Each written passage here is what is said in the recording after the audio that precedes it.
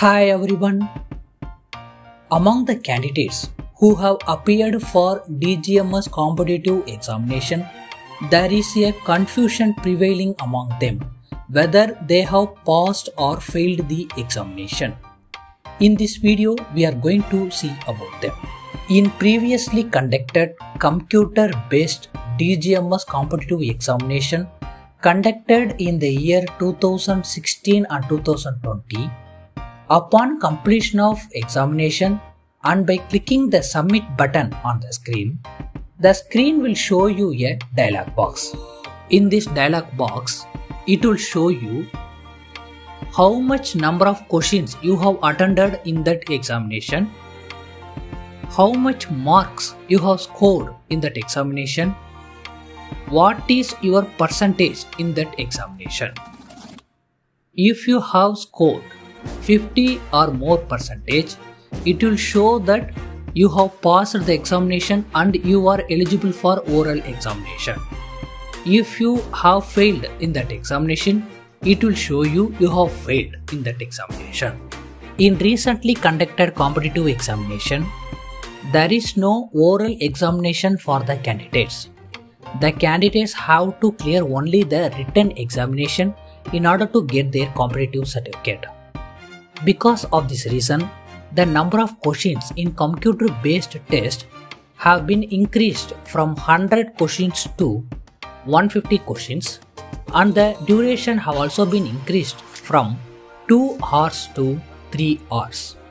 In this examination also, after the completion of the examination, a dialog box appears on the screen.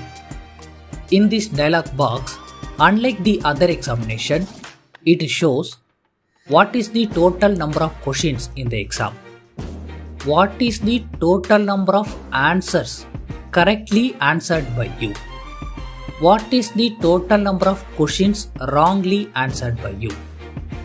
These are the only information available in the screen. There is no any other data whether the candidates have passed the examination or failed in the examination. The candidates have to themselves have to calculate how much mark they have scored and they have to decide whether they have passed the examination or not. Because of there is no official confirmation in the dialog box, unlike previous examination, there are lot of rumors spreading around like the DGM is going to fix cutoff marks or percentiles like GATE examination or CAT examination. In order to clarify the rumors, we visited the DGMS notification. In this notification, they have clearly mentioned that in order to pass the examination, a candidate must obtain not less than 50% of mark in each subject of the computer based test. That is, they should score at least 75 marks out of 150 marks in the computer based test. There is no criteria like cutoff marks or percentiles in DGMS examination notification. Until we receive any official notification from DGMS, these rumors are baseless. I request all the candidates who have passed the examination don't take unnecessary fears in your mind. Hope this video was very useful to you. Subscribe to our channel for more videos.